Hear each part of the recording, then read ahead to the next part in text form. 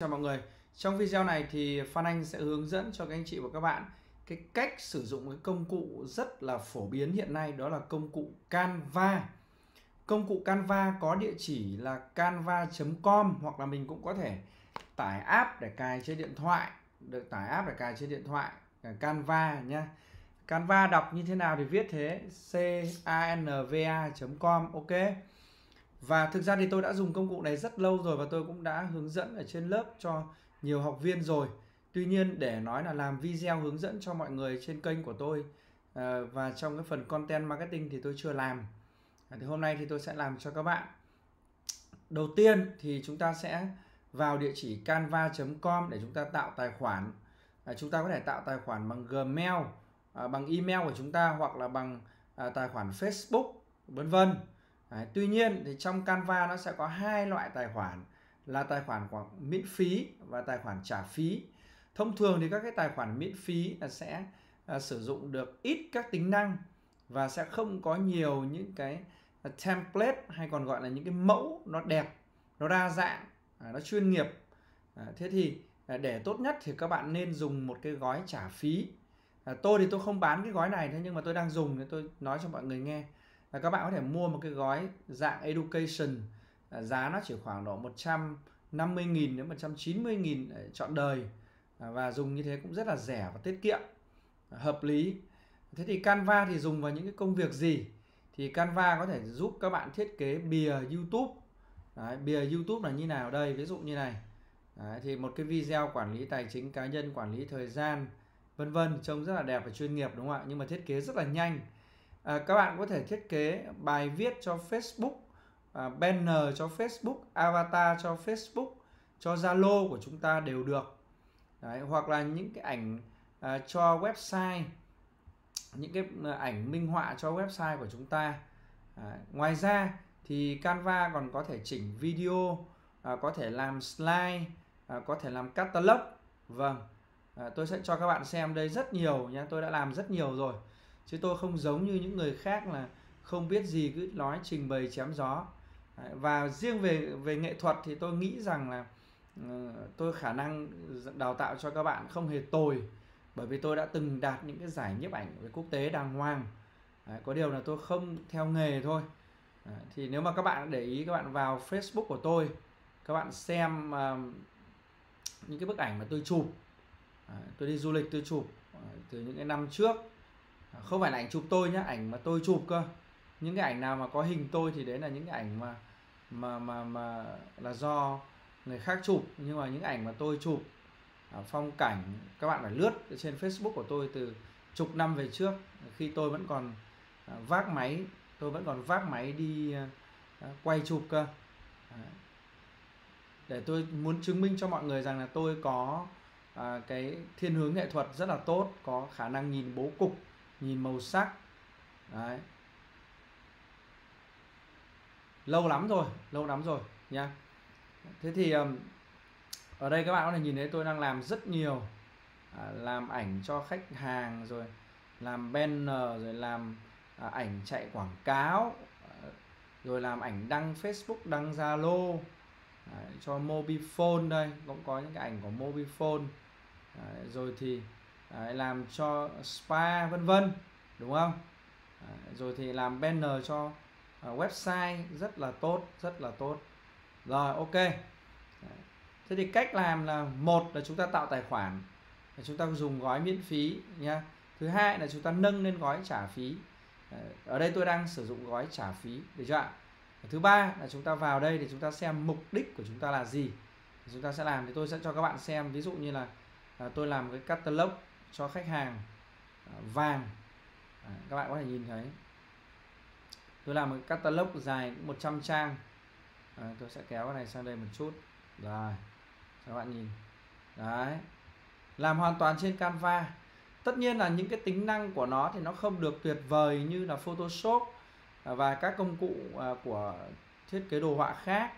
Nhưng mà ở đây nó dành cho dân không chuyên và nó sử dụng à, những cái công cụ máy học rồi công cụ AI để nó à, tối ưu cho chúng ta và nó có những cái template nó có tất cả những cái hình họa có sẵn. Đấy các bạn nhìn thấy không ạ?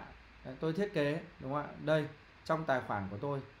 À, không bao giờ nói nói sai rất nhiều. Và khi tải xuống đây tôi cho các bạn xem. Khi mà tải file xuống thì à, mở cái file PDF ra à, nó cũng rất là đẹp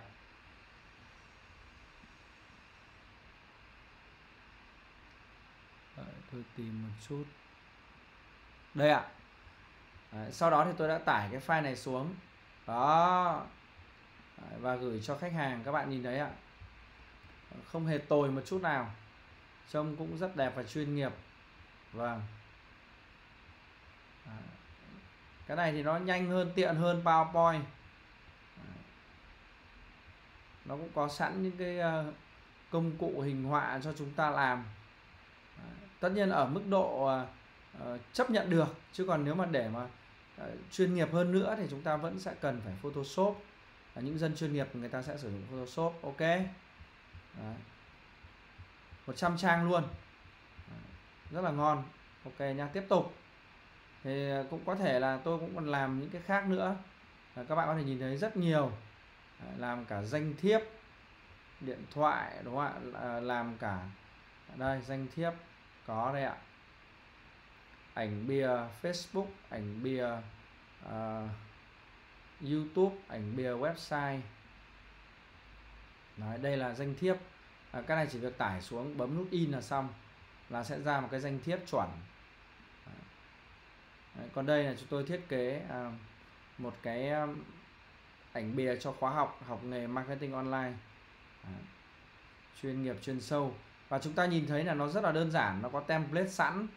À, chúng ta chỉ việc kéo thả đúng không ạ? Thí dụ như là chúng ta sẽ up cái hình à, cái ảnh của ông Phan Anh vào đây. À, sau chúng ta chọn. À, sau chúng ta kéo. Vâng. Cho nó sang đây. À, do là đang đợt này nó hơi bị nhiều những ảnh kia là tìm nó hơi bị lâu. Nếu không thì chúng ta sẽ up một cái ảnh khác lên. Đấy các bạn nhìn thấy không ạ? Tạo spa, kế hoạch à, logo. À, ví dụ như là chúng ta muốn cho to chỉnh to. À, chúng ta muốn thay đổi phông chữ màu sắc, kích thước. Chúng ta đổi màu sắc. Đấy, tôi đang giả sử thôi, đúng không ạ? Vâng đó. Tại vì logo của tôi nhận diện màu cam và màu đen, cho nên là hình ảnh của tôi có xu hướng sử dụng nhiều màu vàng, màu kem tương tự như vậy tương tự như vậy thì các bạn có thể thấy rằng à, đó các bạn có thể chỉnh à, đó và hoặc là có một chút ánh cam à, cũng rất là đẹp.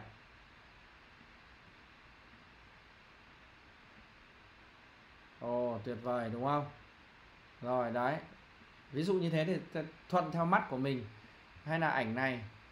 Các bạn đưa ảnh lên đây thì có, nếu mà ảnh chưa tách nền thì các bạn sẽ sử dụng công cụ tách nền.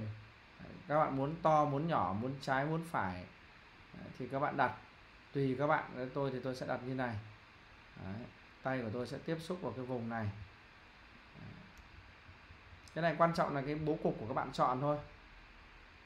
Phông chữ màu sắc các bạn chọn. Khá là dễ.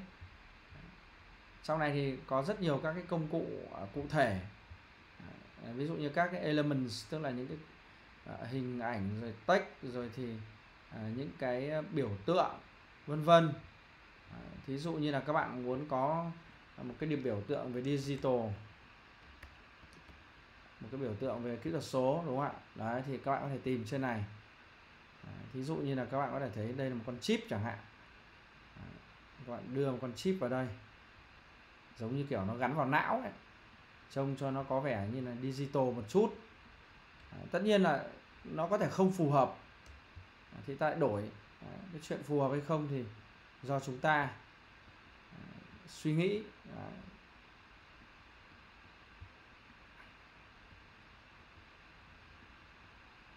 Rồi. Trông nó có vẻ cảm giác rất là công nghệ, đúng không? Cái màu đen này trông nó hơi kinh nên ta có thể đổi màu. Ví dụ như ta có thể đổi nó thành màu trắng này cho nó nhé à, ok. Rồi trông đẹp hơn đúng không? Thế chúng ta cảm thấy mà cần trang trí cái gì đó nữa ví dụ thế. Đấy, chữ học nghề có đô la này chúng ta cảm thấy cần cái gì nữa thì chúng ta tìm trong này những cái từ khóa bằng tiếng Anh. Để chúng ta chọn đúng không ạ? Để chúng ta chọn.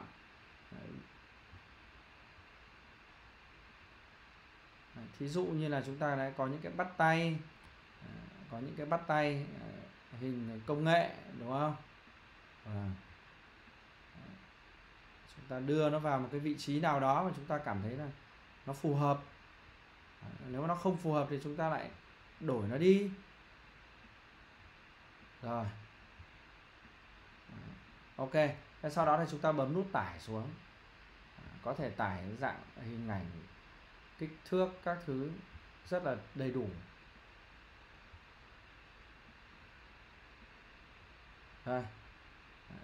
Thích bước nào thì tải bước đấy bước 1 bước 2 bước 3 chúng tôi có những bước khác.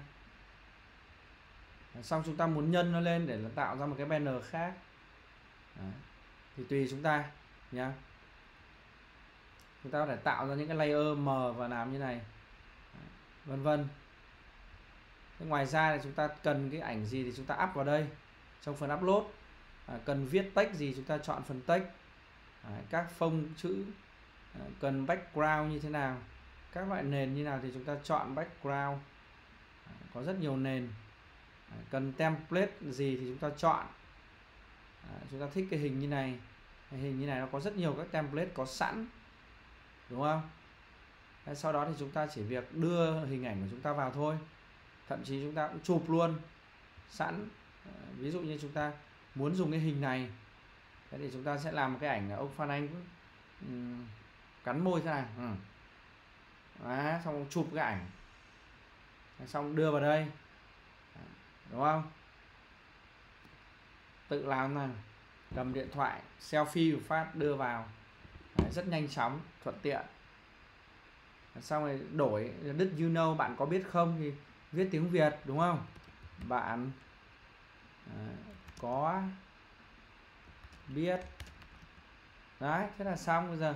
Cho ông Phan Anh vào đây, làm luôn nhá. Làm luôn ông Phan Anh xong cắn môi phát ra nào. Nào, cắn môi. Quay nào trông nhà xinh gái nhỉ?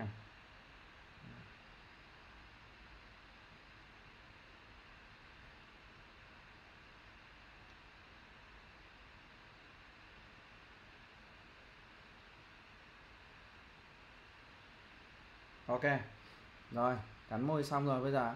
Dùng điện thoại bây giờ đẩy sang. Dùng điện thoại xong rồi nhá, bây giờ đẩy sang này.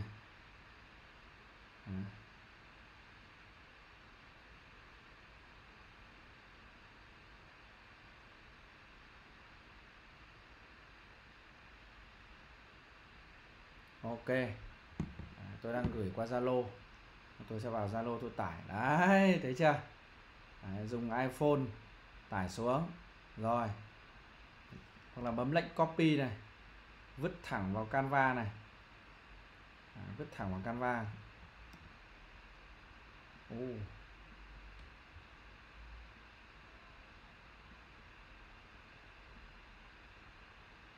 thấy chưa? Tôi làm real time cho các bạn xem. Thế cái này bây giờ phải bóc nền đi. Bóc nền đi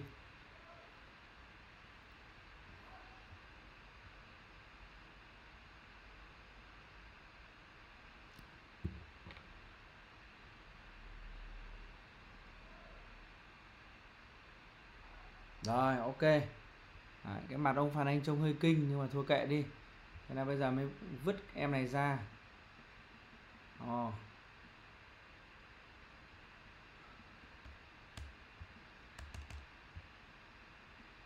Đấy. Vứt em này ra. Đấy, thấy chưa? Xong rồi. Thế ra để cái nền nó trống quá thì mình mình vào đây mình chọn background. Mình chọn background, đúng không?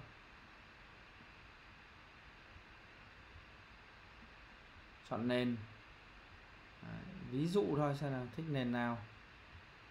Cho này đi là bon ke đi. Ấy giời. Sông này không nổi. Xanh là đấy. Thấy không? Các bạn thấy không? Làm rất là dễ rồi bây giờ bạn sẽ ờ, muốn có logo thương hiệu của bạn cho vào đây. Thì bạn search logo. Tại vì tôi đã up lên đây rồi. Đấy có logo của công ty tôi cho vào đây. Đấy. bạn muốn có số điện thoại đúng không? Ví dụ thôi bạn muốn có số điện thoại. Thì bạn sang phần element. Đấy, bạn sang phần này bạn chọn là uh, phone. Rồi. Đấy, nó sẽ ra phone này. Đấy, hoặc là phone icon đấy, số điện thoại ờ, cho màu hồng đi, hợp với áo của thầy. Ok. Màu hồng này tách nền tiếp, nó có cái màu trắng, tách nền. Đấy. và sắp hết pin rồi, nhanh nhanh nhanh. Không cắm sạc.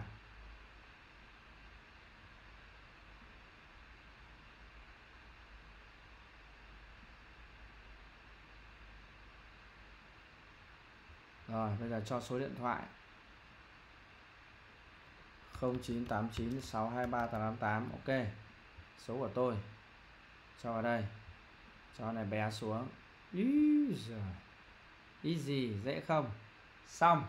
Đấy tôi hướng dẫn các bạn rất là đơn giản nhé tất nhiên là cái sự sáng tạo các bạn các bạn có thể làm rất nhiều mẫu. Rất nhiều mẫu. Ok. Và nếu mà các bạn được học thêm về bố cục, học thêm về màu sắc học thêm về cách sử dụng ngôn từ nữa thì các bạn sẽ làm rất là ổn. Rồi nếu các bạn cần hỗ trợ gì về content marketing bao gồm hình ảnh video sản xuất TVC chúng tôi có công ty sản xuất TVC làm kênh TikTok rồi chụp ảnh chân dung tôi đều có thể hướng dẫn cho các bạn được. À, một lần nữa xin được cảm ơn tất cả anh chị các bạn đã theo dõi video này. Xin chào và hẹn gặp lại các chị và các bạn trong bài học tiếp theo. Xin cảm ơn.